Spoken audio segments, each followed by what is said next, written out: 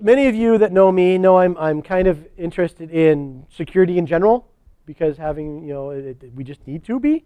I'm also interested in privacy. Um, and uh, I look for tools that help me have that on my side. Right? So present, I give presentation all the time about password managers, where you can run a, you can store data under your control and make sure it makes it easier to have different credentials for every site, for every application that you're logging into.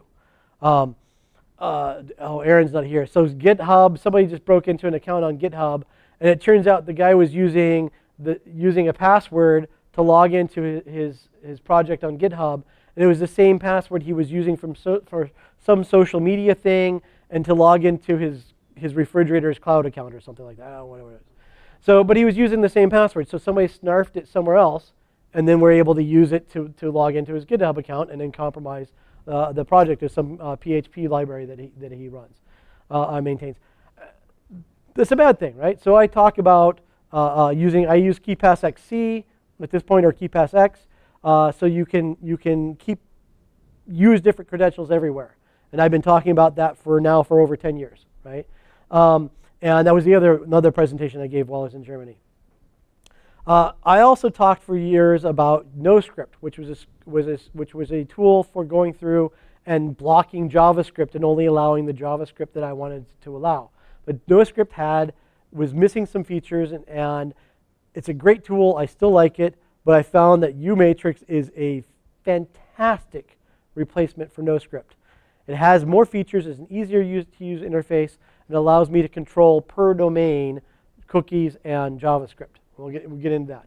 So that's where this came from is UMatrix allows me to turn off the JavaScript so I don't have to worry about somebody going through and using my computer for crypto mining and getting Bitcoin and stuff like that. If my computer is getting get Bitcoin, I want the money. I don't want somebody else to get it. Or if it's if it, one of them was one uh, one of the uh, uh, tech news sites was doing this, right? And I might be fine with doing that, right? Doing SETI at home crypto mining so that the SETI at home project can get can get money, you know, the money that's found, or you know, Free Software Foundation or, or EFF or something like that. But I want to I want to to to opt in. I don't want them to just do it because I visited their website, right? Um, so I I lock my things down a little bit more than even what I recommend for most people. So we'll get to that. So UMatrix is a web extension. Uh, so it's a security and privacy add-on for Firefox. Uh, Raymond Hill is the developer of uBlock Origin. For those of you familiar with that, many of you, many people in Plug have been using that particular one for years.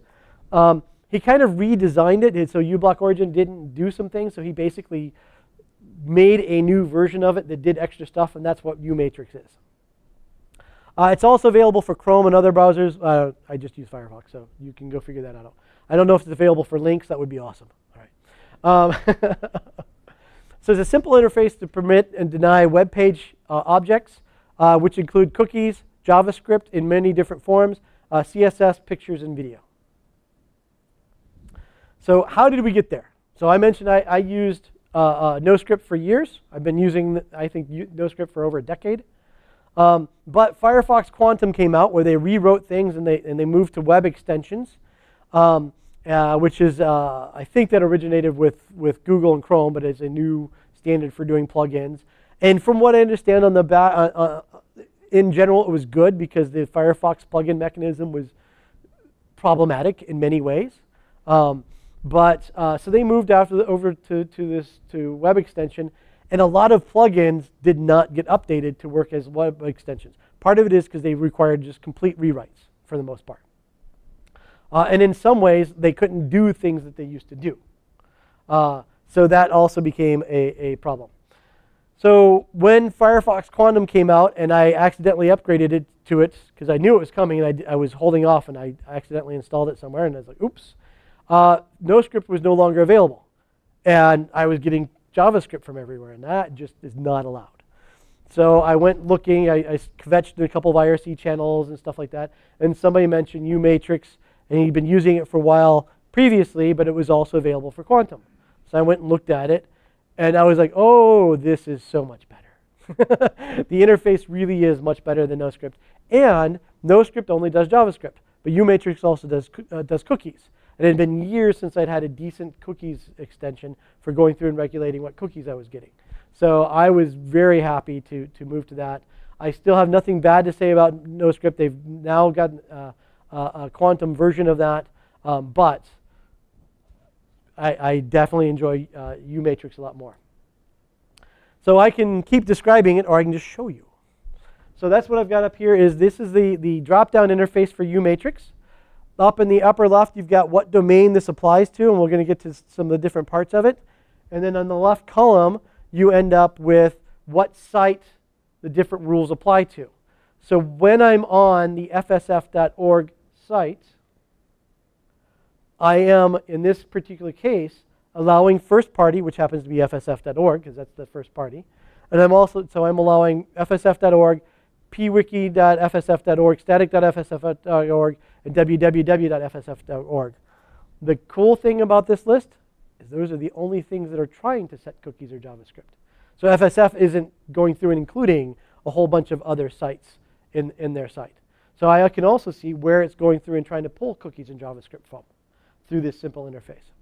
And then I can very simply allow or disallow. Like if I didn't want static stuff from FSF, I could say no and turn the, and disable those. Uh, and then up along the top, in the, the not quite the top, the almost top, is the different types of, of things that are being allowed. Uh, and then the very top are different tools. For the most part, I'm just going to ignore those, learn those on your own. Uh, the big thing is if you go set new temporary rules for the particular website, there's a way to go through and say, save this so you have it the next time you, you come to that site. Um, if you don't save those, those temporary rules and you restart your browser, those temporary rules, rules go away. All right. So the, the elements of the grid, I've already mentioned the site. Now notice up here we've got the light blue for www dot, and then in dark blue for sfs fsf.org. So that tells me what site I'm on, but it also tells me what site I'm looking at rules for. So I'm on www.fsf.org, but the rules that I'm looking at are actually the rules that apply to fsf.org. I could click on the www and say, okay, for the whole domain, fully qualified domain, make these rules apply. Or I could look at just .org or just a dot after the org, right? Um, so you can look at domain, subdomains and, superdomains and so forth uh, and see what are being, what's being allowed. The, uh, the, the dark green are things that are explicitly allowed. I think they're showing up as green here, yes. Because the dark green are things that are explicitly allowed, and the light green things are the things that are implicitly allowed. So the rule I have, I know because I've done this before, but the rule I have that in place for this particular image is I'm allowing all from first party. And because fsf.org and their subdomains are first party in this particular case, those are being implicitly allowed. The red is things that are, are explicitly denied, and the light red are the things that are implicitly denied, that are denied because of some other rule. We'll get to those. So first party I mentioned, the, the, we're going through and saying the domain you're on is the first party for that particular domain, right? So if I go to phoenixlinux.org, the first party will be phoenixlinux.org for that. If I go to EFF.org, first party will be EFF.org. Whatever it is that's the main domain for the site that you're on. Uh, again, here, this is domain allowances, which domain is allowed.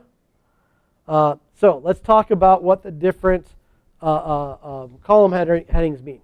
Cookies, those are cookies. Are, are we allowing cookies from that particular domain? Notice that, uh, so this is when I'm on the fsf.org site, or on a, on a, uh, on a, a site, a page within that domain, which of these subdomains are allowed to set cookies?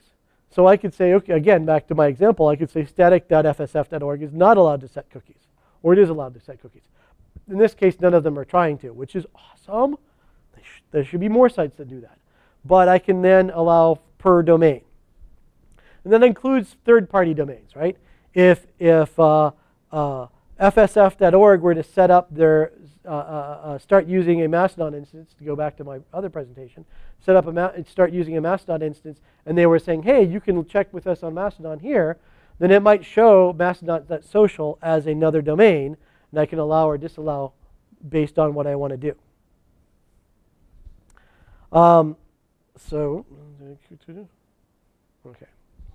So cookies are, uh, I think everybody at this point knows that they're small files kept on the computer to track you. But since I was listing things, I want to do in there. CSS is formatting and layout for your uh, for website layout. Uh, images are pictures, uh, and then media media is video and sound. Uh, by default, notice that CSS and image are dark green. So what does the dark green indicate? There's a specific rule allowing that. So by default in uh, uh, UMatrix, it has rules that allow CSS and images from all sites. Right? So all the other things are not allowed implicitly except for one, which is frame, and that being dark red tells me that frame is explicitly denied. So you don't end up with subframes and stuff like that unless you've gone through and, and gone through and specifically allowed them. Uh, script, XHR are both JavaScript. So script is regular JavaScript. XHR is a JavaScript callback. So like for instance, uh, the first site that I ever used that, that, that I, I started allowing this for, this tells you how long I've been doing this for, is when Google Maps first came out, uh, not when it first came out, but not too terribly long after that, they started basically using JavaScript to go through and request other sections of the map so that you didn't have to do a page reload every time you moved around on the map. Uh, so those types of things where you've got something on the page that is going and requesting more information or sending information back to a server. You don't know, right? So that's XHR. Uh, frames or iframes, if they want to bring something up. And then other is other stuff. I forget what's in other stuff. There was like three or four things, and at least one of them was in some language I don't speak. I didn't get it. So uh, if you're interested in those, look at it.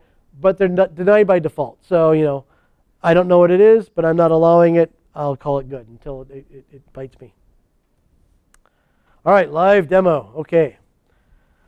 So I mentioned the Free Software Foundation, so let's go ahead and pull their site up and drop down. Uh, now we were having trouble with the color, so I, I, changed the coloring a little bit on. Oh, it's still showing up as green for you guys. So never mind. Ignore what I just said, uh, or just ignore everything I say, whichever works for you. Um, so this is the FSF site. Uh, again, we, we, we, you're getting the same same view as what I what I was showing you in the in the demos inside the presentation. We can go to the Software Freedom Conservancy. Now notice here that they are pulling in content from some other domains. So from, uh, from uh, Creative Commons and from licensebuttons.net. I hadn't noticed that one before. Uh, so they've got a, uh, an image coming in from licensebuttons.net uh, and an image coming in from uh, i.creativecommons.org. So notice here that it's showing me both creativecommons.org, which has nothing, the top domain, or what it considers to be the top domain, uh, and then also the i.creativecommons.org, the specific do domain that's sending, that's wanting to, uh, or where that the page is requesting the image from that particular specific domain. Now again, I'm in this case, I've allowed the first party. So I've got script from the Software Conservancy. They have some JavaScript on their website. And that is being allowed by default. This is still the, the, the default setup for uh, um, UMatrix. Um, if the i.creativecommons had JavaScript that they were requesting, then that would show up as a number for how many JavaScript uh, uh, objects it's trying to go through and, and load. And in this particular case, they would, be not, they would not be allowed. They would be denied implicitly because I don't have third-party JavaScript enabled. All right. Now let's go look at Newegg. Oh, I need to reload this. See, see the number up here in black? You, it's, it's pretty pretty small for you guys to read. It's up to 38. What do we have for for uh, for free? Oh, it's not here. I think maybe I think that's the number of objects it's blocking, something like that. So Newegg lets everybody spy on you. Right? Uh, I'm a fan of Newegg. There's a lot of other companies, including one I was recently working for, that had. Uh, at one point, we were, we were having an issue, and I started looking at web bugs, and we were we were over 60 web bugs on our on our primary website. And I was like, you know, that might be why we have slow loading times. But um, anyway, we took care of the one that was causing the specific problem. Uh, so they have lots of other stuff in here. um, including different things. So they've got uh, um, the Newegg site. They also have neweggimages.com. They have their own CDN or their, a CDN that they're using. They also have static.newegg or new static somewhere, a whole bunch of other things. They've got a couple of different Google things in here. Uh, they are, uh, oh, I thought they, I thought they were letting social media try to spy on you as well, but I guess that, oh, that's what it is. I haven't allowed enough things in order to pull in social media stuff. If I start allowing things, we'll get even more stuff coming from Newegg. It's, it's, it's kind of, kind of scary. Um, but, and, and uh, as I say, I actually use Newegg. I buy from them. They're doing a lot of things to stop patent trolls. I just wish they would fix their site. Um, and I'm going to continue uh, shaming them publicly until, until they do.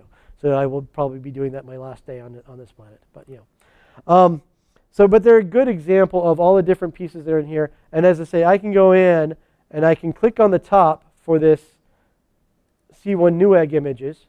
I've now enabled those. Now they haven't loaded. I have to come up and hit the recycle button, the re reload button, in order to, to start getting those, those objects as well. But I can also come down and go, Trustwave. Yeah, no. And I could explicitly block that. And now, if I were to do something somewhere else, that object is those, that type of object, so scripts from sealserver.trustwave.com are explicitly blocked. And you know, since I haven't tried it and we're live, what the heck? Let's see what happens. I click that, they're still blocked. All right. I don't like that. I just explicitly get rid of them all. Um, so I've got these pieces here. As I say, I haven't saved the changes though. So if I quit the browser and start up again, then c1.neweggimages.com will no longer be allowed to do scripts. And sealserver.trustwave.com will be just implicitly or, or implicitly denied not explicitly denied like it is. I can also come up and save the changes that I made. I think that's saving. No, this is saving the, the save all temporary changes, yes. Right? So I can do that. I think this other one is I can disable and enable yeah, filtering at that scope. So look at these different icons up here as well.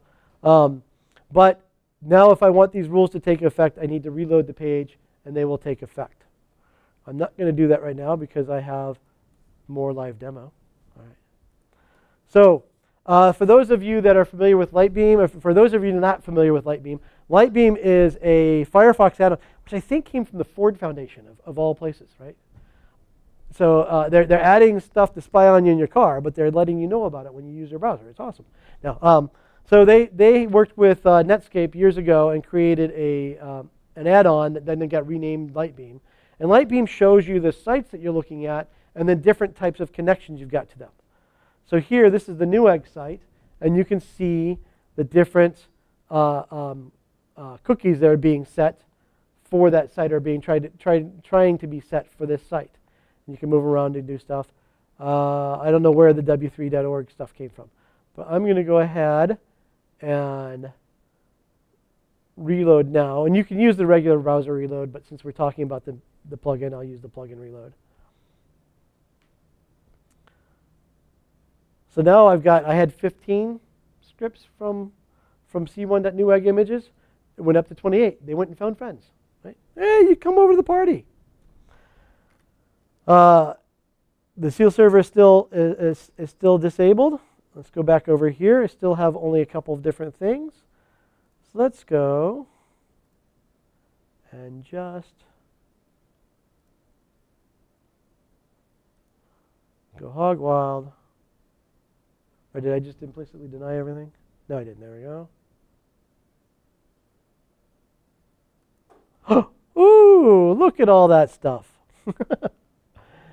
so I like, one of the things, as I say, I like about, about UMatrix is it gives me, a, I think, a really nice interface to see what's being allowed, what's being requested, uh, and gives me information about why, I, why it is that I'm allowing them. And it gives me a very simple, as the, as the text person in the room, right?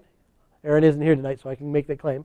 Uh, as, the, as the text only person in the room, I like that I've got a very simple, easy graphical interface to use to, to, to get to this stuff.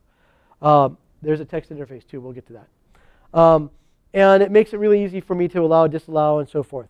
So for instance, um, uh, one of the other places that I buy stuff from is Humble Bundle. Well, in order to buy things from Humble Bundle nowadays, you have to allow Google stuff because they're doing CAPTCHA. And you have to allow Stripe because that's who they're doing their payments through.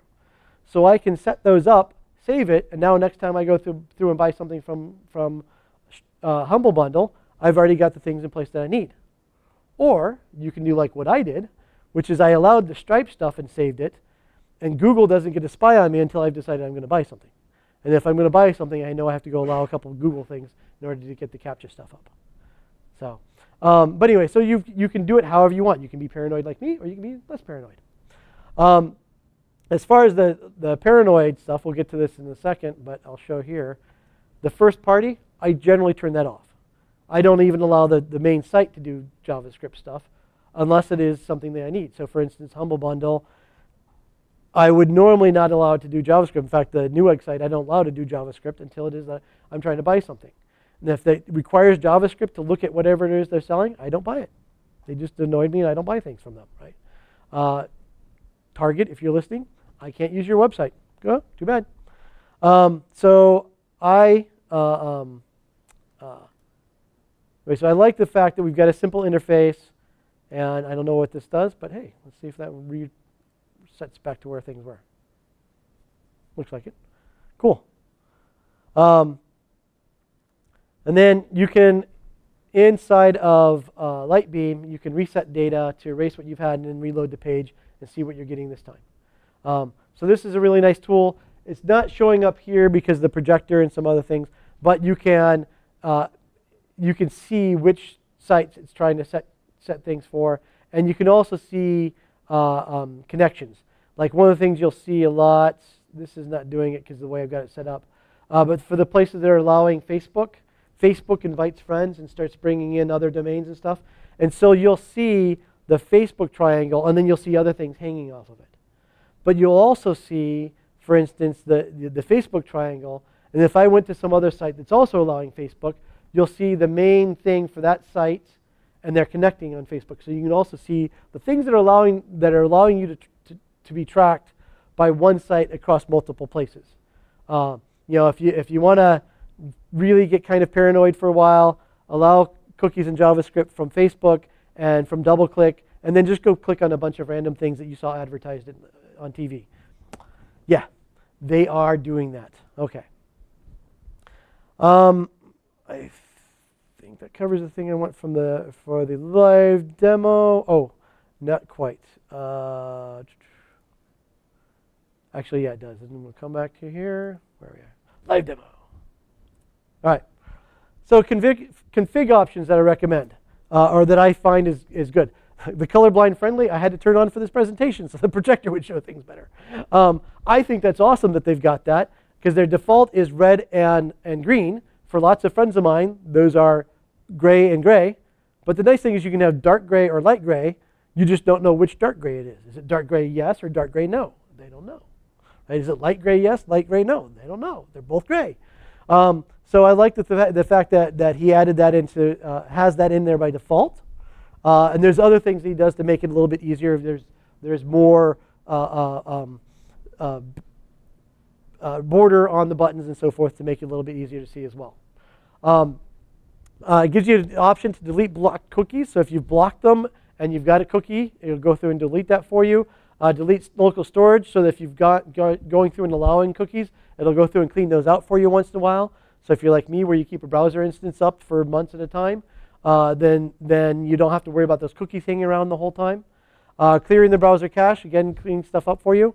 Um, well, they'll spoof the HTTP refer string, so making it a little bit more difficult for people to, to track you. Uh, they will, uh, I don't actually enable this for the most part because uh, it just, just breaks too many sites still.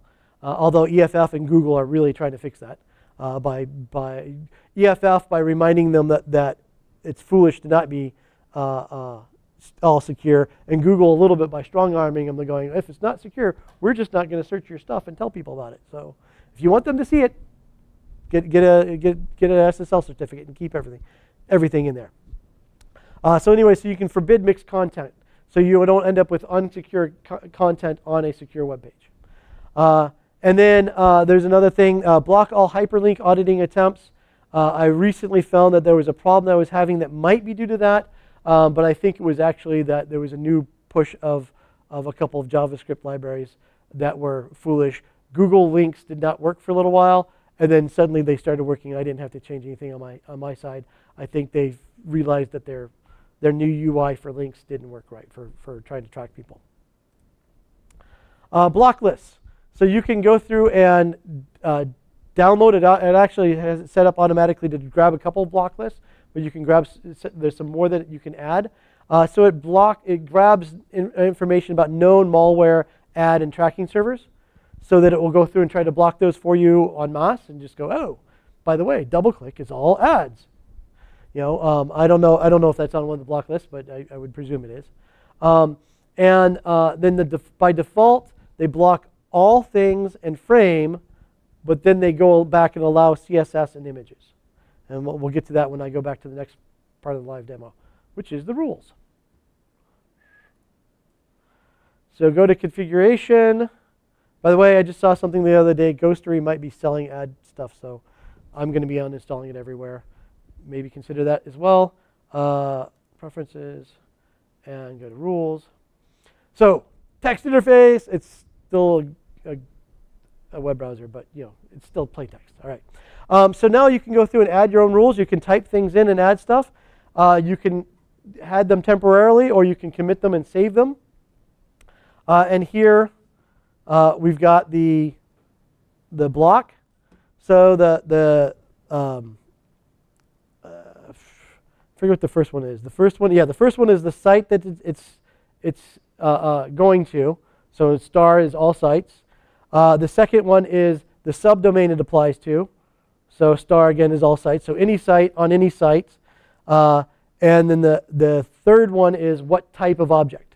So I'm saying any site, on any site, disallow all things. So it's explicitly blocking all things, right? Then it goes back in and it says, oh, for all sites and all sites, allow CSS, allow fra- uh, or allow CSS and images, but continue blocking frames. So frames are blocked because of the first rule, but they're also blocked because of, or not the first rule, but the, the star star star block, but they're also explicitly blocked. So you have to explicitly enable them if uh, uh, in order for, for things to start popping up. And then they go through and do first party allow, and I usually go through and delete that off of my browsers. There's a couple of them where I allow it because I'm doing things where I, I just know I'm going to have to deal with JavaScript stuff. Um, so I, uh, on some of uh, some browser instances I allow it, but most of them I delete that, and I have to go explicitly allow a domain to have uh, JavaScript if they if, if they need it for whatever it is I'm doing that day. All right, uh, there are more pieces here. I'm not going to go through all the different uh, settings. Um, so go explore on your own. Uh, this is the, the block list I was talking about under assets. I don't even remember what more is. I don't know if I figured that out. Uh, and information about it. Um, all right, back to the presentation. So now at this point, I haven't tested this, and so go experiment on your own, find out what your particular needs are. But I'm presuming that you really don't need NoScript anymore you don't need uBlock Origin. It's the same guy, you know, and he's basically created this to, to replace, to do uBlock Origin Plus. Uh, and then AdBlock Plus. Now, AdBlock Plus is, is coming at it from a different perspective. Their thing is about blocking ads, and so they've got some other things in there. I think AdBlock Plus has a has a uh, uh, uh, or used to have a way for you to put artwork up where the ad was, so you it would down things from the Getty images or other places that Actually, those are probably not publicly available, but some, some publicly available art uh, uh, source. And so where you would have a banner ad, it would just it would be some somebody's drawing and stuff, which was pretty cool. I actually set that up for my wife years ago, uh, and and, uh, and, and it was great. Uh, except for it didn't work so well. So, but that was 10 years ago. So who knows nowadays? Um, so anyway, you probably don't need those, but it depends on what it, what feature you were using. So uBlock or uh, uMatrix might not be providing all the features from those, and there might be a feature from one of those that you still want. Um, but the, the, the, majority of what those, those add-ons are doing, uh, uMatrix is taking care of. Uh, and then we have Village Platypi to fill this up. Thanks to Brian for creating this, uh, uh, this wonderful image for me. Uh, and again, for things for, for contacting me. So thank you for sitting through this and, and coming. Uh, are there any questions? Yes. What would be some of the things that uMatrix uh, would not be providing that, say, uBlock Origin does? Or, I mean, you said it's the same guy, so is, is everything? I think it's, I don't use uBlock Origin, so I don't know. But I've looked at it and it was doing something similar. Uh, the, the, the example I can give of, uh, uh of those three is the advertising thing where the AdBlock Plus is specifically targeting ads on sites. And so there are some things that they're doing where they're looking for particular types of images as opposed to just all images, right? Um, and, uh, and then, as I said, there were some other things where like they were replacing things and stuff like that. Uh, a feature that NoScript had that I haven't yet verified that you uh, that uMatrix has is uh, NoScript will try to replace common uh, scripts that are out there. So basically, there's a whole bunch of Google JavaScript that lots of people use on their site instead of having to create their own uh, script to go through and look at like what is the valid email address, right? They'll get the incorrect answer from Google instead. They don't get it right, not yet. Um, but so no matrix has said, okay, I've created JavaScript that will provide the same functionality, or at least provide uh, results, so that the things that are calling that won't break because I might be using, you know, the, the site might be have a JavaScript call to the to the Google JavaScript, and if the Juval, Ju, Juval, Google JavaScript is not there, then the site's script might break because it's not there. So NoScript is saying, okay, I'm going to provide something to try to make this a shim to try to make that work. Um, I don't know that that uMatrix is doing that. So it's more the more in-depth stuff that it does, not necessarily the face value things. Probably, but it but it depends on what it is you're using it for, right? If uh, if I was using NoScript specifically because I wanted to, I hated Google and I wanted to make sure there was no Google in my life. Good luck with that, right? I, and I'm I'm not a I, I I'm actually uh, mostly a fan of Google. I just don't want them spying on me everywhere, right? Um, the uh, um, so, if, but if that was that was the main reason I was using NoScript, well then right now I can't say that uMatrix is providing that feature. So if there's something in uBlock Origin that you specifically wanted to use, I don't know. Is there something specific you want to know about? Maybe I, I can answer that. It, it wasn't anything in particular. It's mostly like, it, I don't know how the ad blocking things work, but it's mostly ad blocking and, um, and, and the JavaScript blocking. Okay. They're just face value of those two, which I, am pretty sure those three applications do. Okay. Well, I would say uh, my suggestion would be uh, figure out a couple of sites that it does a really good job of that for you and, and where you can see it's doing what you want it to do.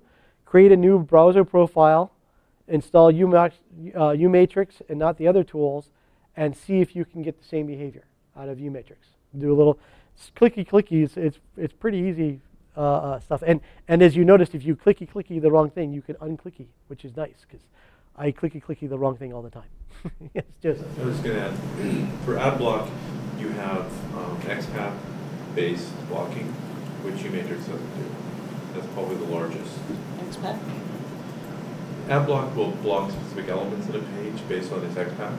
Okay. Um, it's a modified XPath, but roughly XPath. And uBlock doesn't do that. It blocks sort of all or nothing. What is XPath?